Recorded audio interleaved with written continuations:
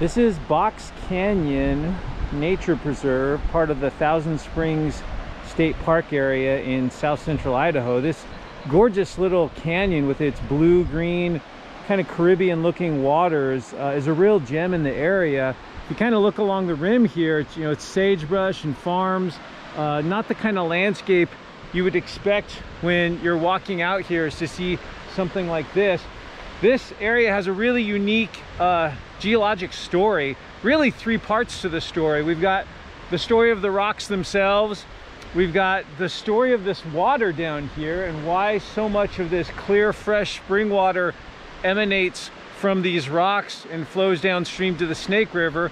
And then we have the mystery of the canyon itself and how, what kind of process can create a canyon like this.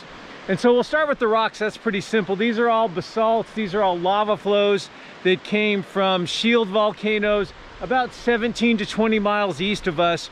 Uh, these rocks are about, uh, I think about 300,000 or so years old in, in that sort of ballpark. And the canyon itself is maybe up here, maybe 100, 150 feet deep at its deepest. Then we have the story of the water. So at the head of this canyon, uh, there is springs emanating from these rocks uh, that are flowing downstream. This is the 11th largest spring in North America, Box Canyon Springs. This spring discharges about 180,000 gallons every minute. It's constant year-round. Uh, the temperature of the water is the same. I think it's around 53 or so degrees Fahrenheit.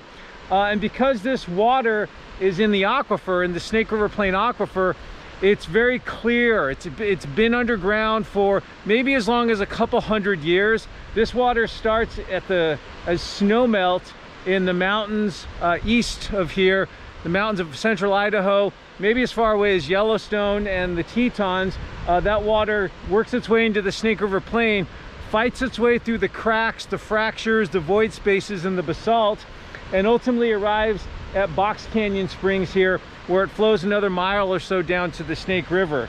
Um, this, uh, this area, this spring, is not unlike some of the other springs we have in the area. Thousand Springs is just a few miles uh, to the west here.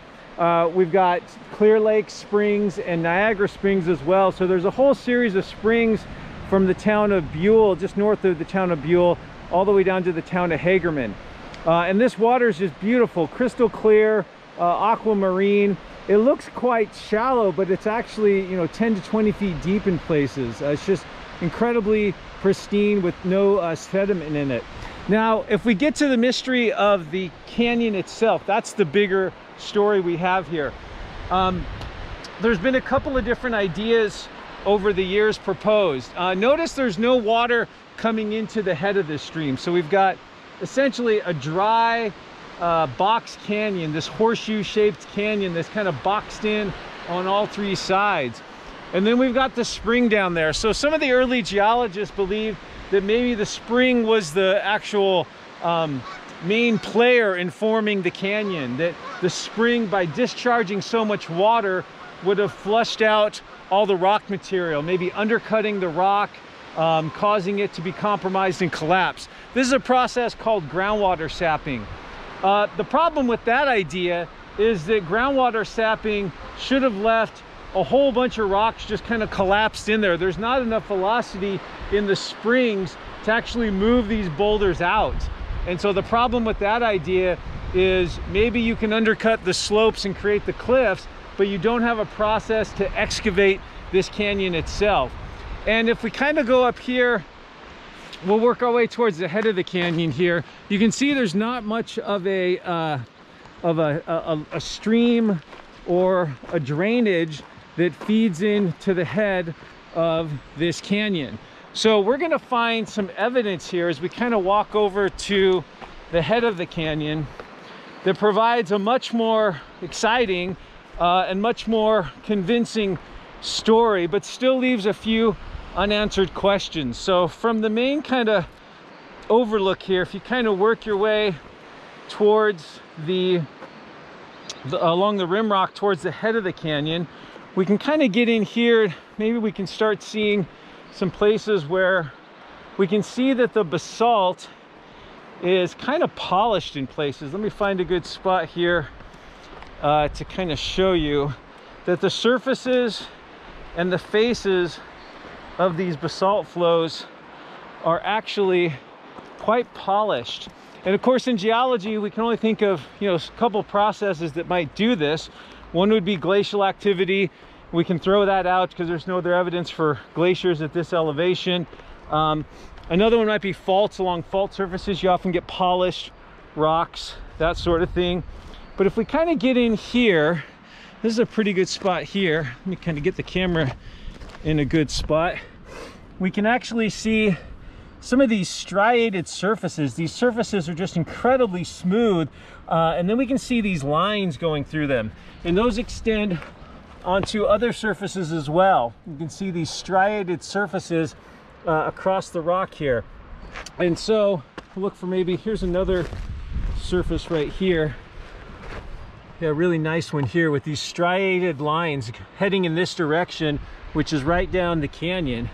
And so the idea here at Box Canyon that we've, the conclusion we've come to, at least for now, tentatively, is that a large flooding event actually excavated this canyon.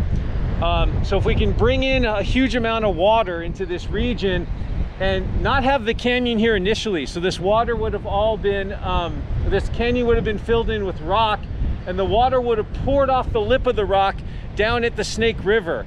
As that water pours over that lip and creates a waterfall, it produces a tremendous amount of erosion and so it actually can cut uh, that waterfall back as the water goes over the lip of the falls the sand and the grains and the boulders that it's carrying produces a lot of power to cut the the canyon rim back and if you have a sustained amount of water or enough of flooding events you can start to excavate and cut a canyon back upstream like we have here at Box Canyon so the obvious uh, you know, the obvious um, flood that would make sense here would be the Bonneville flood. We're only a few miles away from the Snake River. We know the Bonneville flood did a uh, qu quite a number on changing the landscape in southern Idaho, creating some incredible landscapes and, and clear evidence of flooding. Uh, and that may be the case. This could be a Bonneville flood feature. The problem is, well, twofold. One, the orientation of Box Canyon doesn't really parallel uh, the Snake River. It's actually kind of at a right angle to it if you look at a map. Um, and so there's a little bit of trouble with getting the flood from the Snake River up over into this area and cutting it downstream. You'd also think that the Bonneville flood uh, might have cut through and removed a lot of the topsoil back up here just to the east and we really don't see that. There's plenty of topsoil. It's only when you get right here to the canyon rim that you see it sort of start to cut down into the underlying basalt.